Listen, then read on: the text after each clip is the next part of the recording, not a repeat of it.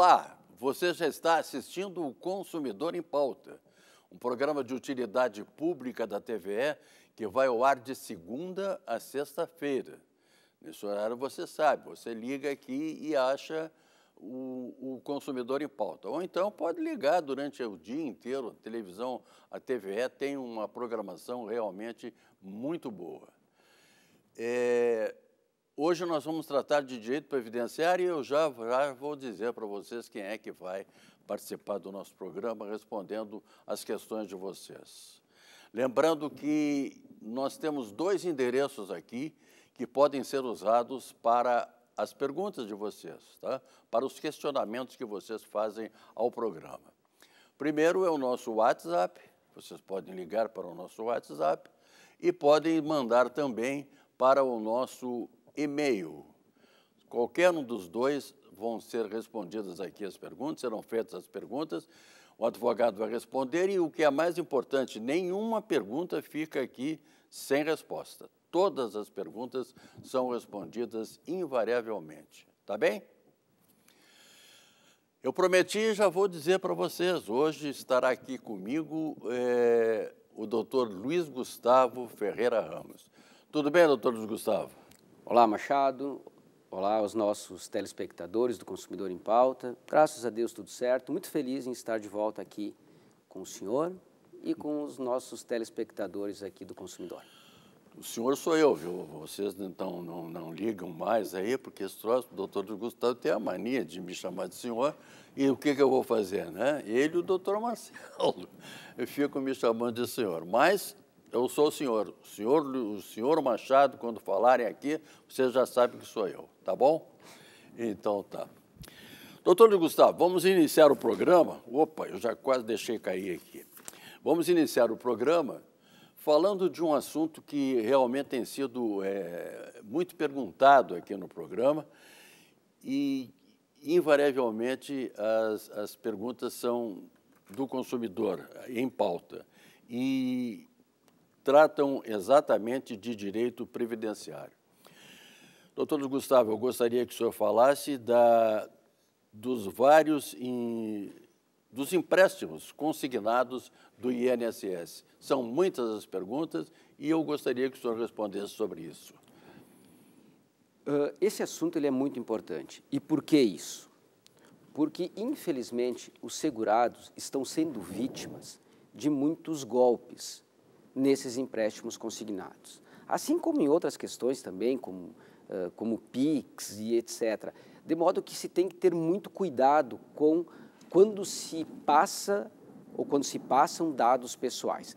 Mas no que diz respeito aos empréstimos consignados, evidentemente que os aposentados e pensionistas são um grande filão para os bancos. Por quê? Porque ao outorgarem um empréstimo consignado para um aposentado ou pensionista, os bancos eles têm a certeza de que receberão os valores, porque, como o próprio nome diz, é feita uma consignação no pagamento do benefício e não há inadimplência. Por isso, os juros são mais baixos, mas mesmo assim eles existem e são embutidos nesses empréstimos. E aí o que, que vem acontecendo? Muitas vezes o aposentado nem quer o empréstimo e os bancos creditam os valores na conta do aposentado e começam a fazer as consignações. Aí o cidadão pega lá 5 mil reais emprestado, para pagar em 60 vezes e no final das contas vai pagar 10, 12 mil reais. E aí o cidadão chega até nós com uma pergunta que nos chegou aqui, de um senhor com 84 anos de idade, que disse o seguinte: eu não tenho, eu não pedi empréstimo. E mesmo assim creditaram o valor na minha conta. E aí eu procurei um advogado que fez um acordo com o banco e me devolveu lá, enfim, um determinado valor. Pessoal, quando isso acontecer, com o senhor ou com a senhora, procure o advogado da sua confiança. Em média, em média, o judiciário tem fixado indenizações aos aposentados. Os bancos são condenados a pagar indenizações aos aposentados pelo transtorno causado com esses empréstimos não solicitados. E essas indenizações têm girado entre 5 e 10 mil reais. Outras vezes, o, seguro, o, o, o, aposentado nem recebe o dinheiro, alguém falsifica a assinatura dele. Isso já aconteceu várias vezes lá no escritório. Já atendi diversos aposentados e pensionistas com esse mesmo problema. Mas aí tudo isso é possível de se resolver numa ação judicial. Fica uma dica importante. O meu INSS, que é um aplicativo do INSS, ele permite que o senhor, a senhora aposentado ou pensionista, faça o bloqueio do seu benefício para empréstimos consignados. É muito importante fazer isso, porque assim se evita fraudes. E se o senhor ou a senhora, em algum momento, verificar o depósito de um valor na sua conta vindo de um empréstimo consignado, por favor, não utilize o dinheiro. Tem que se devolver o dinheiro. Procure um advogado da sua confiança, mas não deixe a situação por isso mesmo, porque ao final das contas, o valor que será pago é infinitamente maior do, do que o valor que lhe é alcançado. Então, muito cuidado, mas muito cuidado mesmo com esses empréstimos consignados.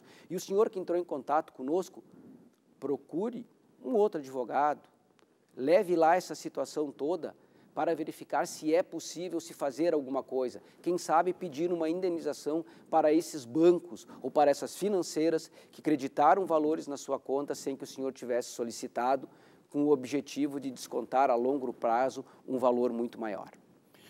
Isso aí diz respeito àquela pessoa que ligou para o senhor aqui, é, de 84 anos, que é um anônimo lá de Gravataí. Exatamente, esse senhor é uma situação que causa, assim, até uma tristeza na gente, né? O senhor de 84 anos, né, deveria ter uma vida já tranquila, sem preocupações, aposentado. Aí de uma hora para outra se depara com dinheiro na sua conta que não pediu. E o pior, com, com consignações no seu benefício previdenciário a pagar durante 60 meses, 5 anos. Isso é de uma crueldade até, eu diria, e por isso que o judiciário tem fixado indenizações, porque não há como se conceber que uma pessoa que está quietinha lá no seu canto, 84 anos, tenha que se incomodar com um banco ou com uma financeira que lhe faz empréstimos consignados sem a devida solicitação. A pergunta que eu tenho aqui, doutor Luiz Gustavo, é do Breno. E ele diz o seguinte: Eu sou aposentado por invalidez pelo Estado do Rio Grande do Sul. Gostaria de saber se eu posso contribuir como facultativo para o INSS e me aposentar também pelo INSS.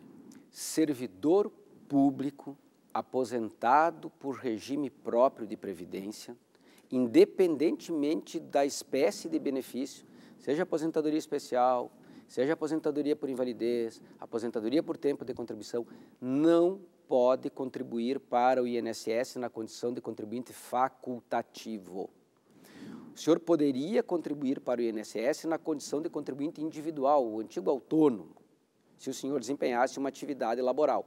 Porém, como o senhor é aposentado por invalidez, o senhor não pode laborar em outra atividade. Então, não há a possibilidade do senhor contribuir para o INSS para ter uma segunda aposentadoria. Há que se verificar no seu regime próprio as hipóteses de concessão de aposentadoria por invalidez. Em regra, para que uma pessoa tenha aposentadoria por invalidez, ela tem que ser considerada incapaz para o desempenho de qualquer atividade. Ela não pode nem ter a opção de uma reabilitação ou mesmo de uma readaptação no serviço público. Então, em princípio, o senhor não pode contribuir para o INSS, nem como facultativo, por expressa vedação legal, e nem como contribuinte individual, porque o senhor recebe um benefício que não lhe permite exercer uma outra atividade. A pergunta do Luiz é uma pergunta muito extensa, eu já passei para o doutor Gustavo, mas vou começar aqui a pergunta só para, para que ele lembre bem de qual, de qual a pergunta que eu, que eu mandei para ele. Sou servidor público do Estado, estatutário, 53 anos de idade, com 37 anos de serviço, sendo, sendo 29 públicos e o restante privados? Essa é a pergunta, doutor. Eu me lembro da, da, da citação do Luiz, eh, servidor público. Uh, é uma situação tanto quanto complexa. O Luiz, ele tem vários anos de contribuição, no total são 37 anos de contribuição entre uh, serviço público e privado. Ele já averbou um tempo de serviço privado lá no Estado. Com essa verbação de tempo de serviço privado no regime próprio de previdência no Estado, ele fez com que ele tivesse algumas remunera alguma remuneração, algumas vantagens adicionais, justamente por ter averbado o tempo. Então ele não tem mais como desaverbar esse tempo, não pode. Mas aí ele faz a seguinte indagação: ok, mas e se eu deixar o, a função que exerço agora, meu cargo agora, e fizer um novo concurso? Eu posso pegar este tempo todo de Estado e tempo que está averbado lá e levar de volta para o INSS? A resposta é afirmativa. Sim, é possível.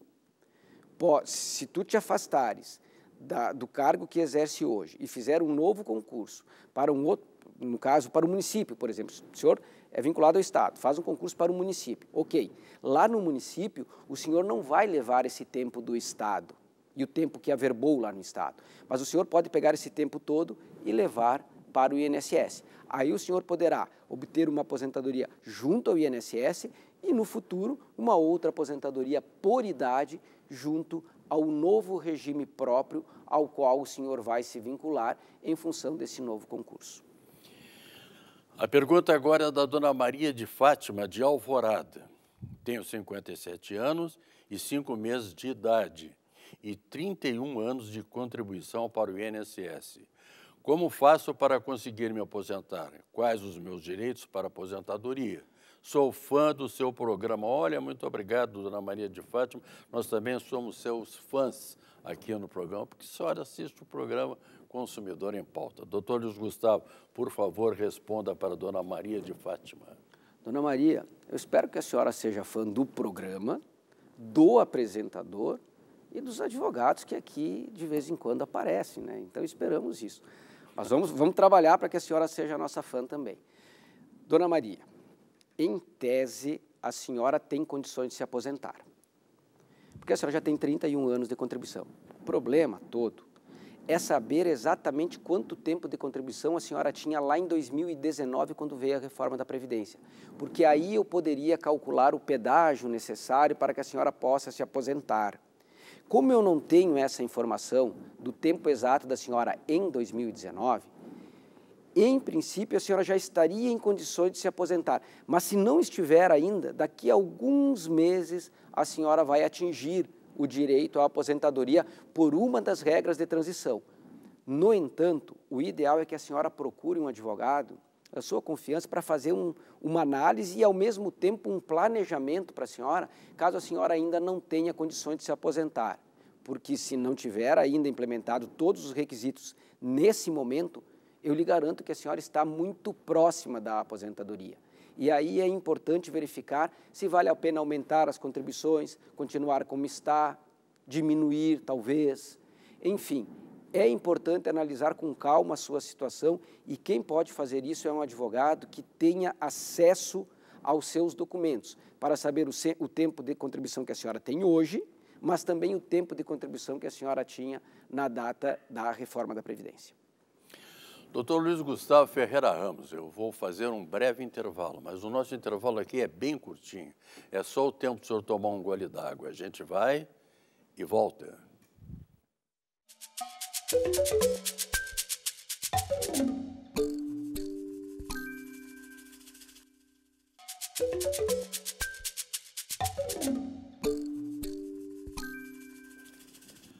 Estamos de volta. O programa é o Consumidor em Pauta. E hoje nós estamos tratando de direitos previdenciários. Estou conversando aqui com o doutor Luiz Gustavo Ferreira Ramos, que é advogado especialista nessa área de direito previdenciário. Temos aqui a pergunta do Pedro. É, gostaria de saber se um recibo referente a cinco meses de trabalho na fazenda do meu irmão, na Bahia, em 1984, vale como tempo de contribuição sem estar registrado no INSS? Perguntou Pedro. O pessoal brinca comigo aqui na TVE que quando eu começo a falar, eu me largo e não paro mais de falar, respondendo as perguntas, não consigo responder a todos. Mas o senhor pode falar, não tem problema nenhum aqui. Não, mas, é, seu Pedro, é que vocês me fazem essas perguntas e eu gosto de direito previdenciário, eu sou apaixonado pelo direito previdenciário. Aí, quando liberam o microfone, para mim, sabe como é. Mas vamos lá, vamos responder ao seu Pedro. Seu Pedro, olha só. Esse, esse recibo, ele pode servir como prova, porém, ele tem que ser um recibo que foi confeccionado à época da prestação do trabalho. Não adianta o senhor hoje apresentar um recibo com data atual ou um recibo que tenha sido feito hoje. Não. Para se provar tempo de contribuição, é, a lei exige documento, início de prova material, documento, mas tem que ser documento da época. Muito me perguntam, e declaração de um antigo empregador? Não vale, porque isso é um documento atual. Declaração tem a mesma força de uma prova testemunhal, não é, não é propriamente um documento para os efeitos legais. Então, seu Pedro, se esse recibo for da época da prestação, lá do serviço, lá de, antigamente, sim, a resposta é afirmativa. A pergunta agora é do senhor Alaor. Me aposentei por invalidez em 2003 e tinha bons salários, de 89 a 94. Posso pedir revisão da vida toda? Pergunta ao Laura. Em tese, 2003 a aposentadoria, é isso? É. Bem, em princípio, seu Alaor, eu ia dizer que sim, mas de 2013 para cá, já se passaram mais de 10 anos. Então, em princípio, não cabe mais revisão da vida toda pelo decurso do prazo. O prazo para pedir a revisão da vida toda é 10 anos. Em tese, o senhor teria direito, porque as contribuições lá anteriores a 94 são maiores, mas em função do decurso do tempo, não é possível mais que o senhor ingresse com a ação judicial. A não ser que o STF, quando terminar o julgamento da revisão da vida toda, decida alguma coisa de maneira diferente. Mas acompanhe o nosso programa aqui na TVE, que quando houver novidades sobre essa temática da revisão da vida toda, eu prometo trazer aqui e sempre mantê-los atualizados a respeito desse assunto. É importante que, que o senhor fique ligado aqui, é, exatamente por isso, porque o doutor Luiz Gustavo, o doutor Kedrick, qualquer um dos dois, vem aqui e dá a informação exata para vocês do, do tempo que o STF de, decidir ou não Depende do julgamento que eles vão fazer lá, tá? ou da maneira como eles vão fazer.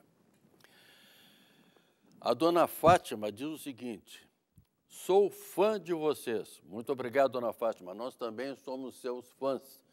Claro, né? a senhora está assistindo o programa.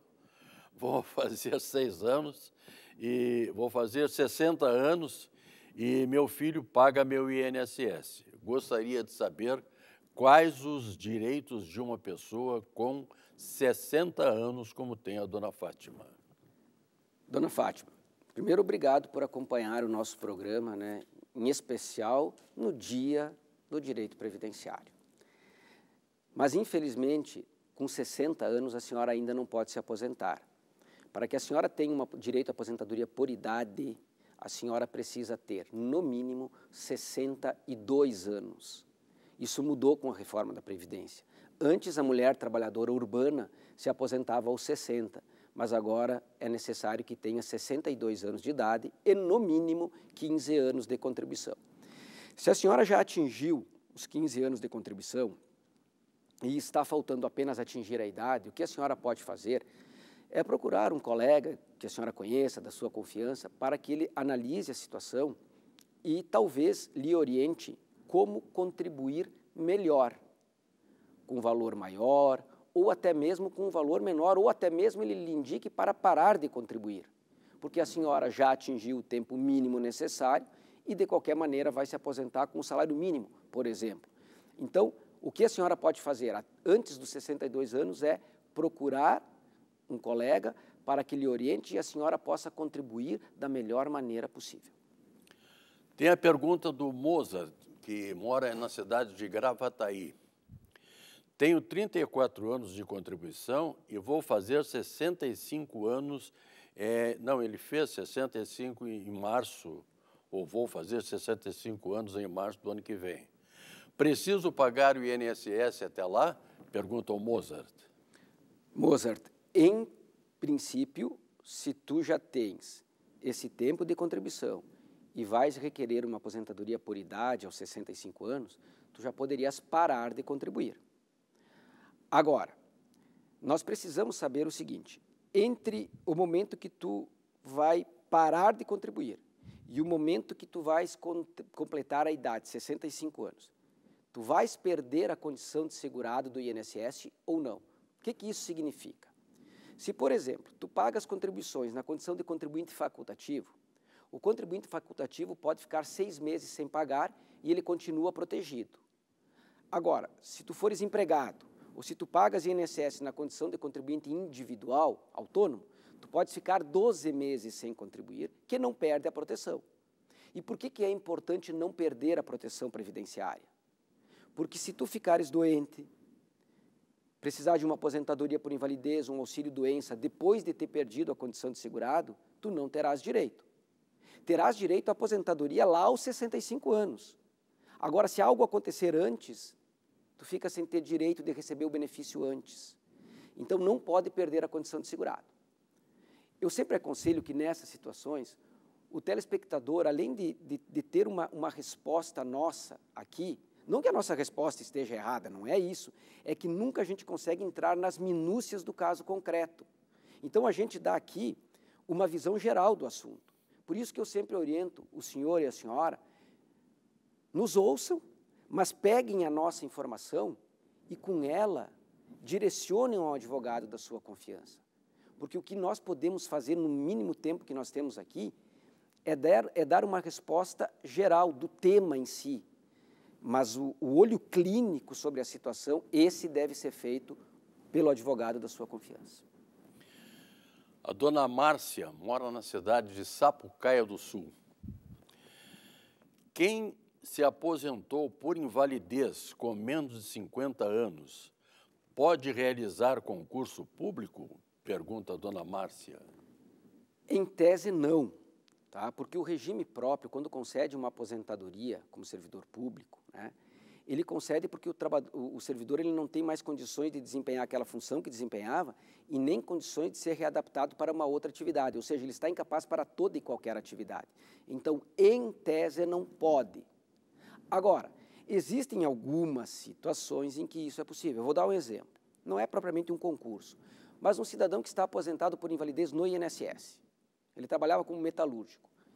Ele pode, daqui a pouco, ser eleito para, para exercer o cargo, o, o mandato de vereador? Em tese, pode, porque são atividades totalmente diferentes. E se for um vereador de uma cidade do interior que tem sessão da Câmara, muitas vezes uma vez por semana, eu, eu, falo isso porque eu já me deparei com uma situação concreta dessas. Então, o que eu posso dizer aqui é o seguinte: é Dona Márcia, né? É. Dona Márcia, em tese não pode, mas a gente precisa analisar o caso concreto. Por isso, procura um advogado da sua confiança para que ele coloque o olho clínico nessa situação também. O doutor Luiz Gustavo tem, tem, tem dito aqui, tem feito aqui, a ressalva de procure um advogado de previdenciário da sua confiança. Ele jamais diz procure o nosso escritório. Não, procure um advogado da sua confiança, porque é, no fim, se a senhora quiser o melhor, vai acabar indo num dos escritórios que nós recomendamos aqui. Mas a pergunta agora é do Daniel de Canoas. Tenho 63, 68 anos, é 68? É. E 23 anos de contribuição. Como faço para me aposentar? Já procurei dois advogados, eles não me deram nenhuma esperança. Atualmente transporto combustível. Tem algo de errado na pergunta ou tem algo de errado na resposta dos advogados. Um cidadão com 62, 68 anos de idade e mais de 15 anos de contribuição tem direito à aposentadoria. O que pode acontecer é que não tenha chegado o momento ideal para a aposentadoria, por causa do valor, enfim. Mas direito à aposentadoria o senhor tem. Tá? O que precisa verificar é, é e aí eu aproveito para fazer um pequeno comentário, rápido, prometo, sobre o que o, o, o, o seu Machado acabou de referir. Nós indicamos que o senhor e a senhora procurem advogados que militem na área do direito previdenciário. A nossa função aqui é trazer informações gerais sobre o tema. Mas o olho clínico, isso eu insisto, tem que ser feito por um advogado da sua confiança. O senhor tem direito à aposentadoria. Isso eu garanto. Se os dados da pergunta estiverem corretos, o senhor tem direito à aposentadoria. Se os dois primeiros advogados não lhe deram a informação correta, procure um terceiro. Nós tivemos aqui com o doutor Luiz Gustavo Ferreira Ramos, que falou sobre direito previdenciário e falou bem sobre direito previdenciário, porque nós temos aqui sempre, nas sextas-feiras, o melhor programa de direito previdenciário que a gente fala. Quero agradecer muito ao doutor Luiz Gustavo e lembrar que amanhã eu estarei de volta aqui, amanhã não, segunda-feira eu estarei de volta aqui para apresentar mais um Consumidor em Pauta. Muito obrigado e até lá.